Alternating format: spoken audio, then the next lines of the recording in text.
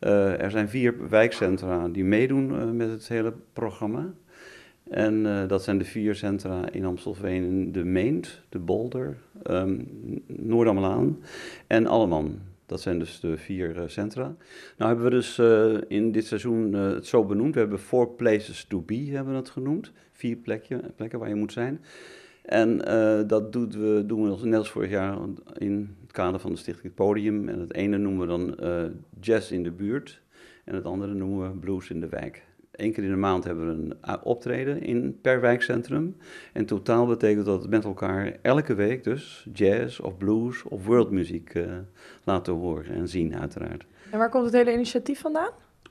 Uh, de stichting, het podium, dat is namelijk uh, opgericht in die 2011. En toen zijn we, omdat we zagen dat het slecht ging, hebben we gedacht, wij willen dat meer, dat tij wat keren. We willen naar een uh, meer podia in plaats van minder podia.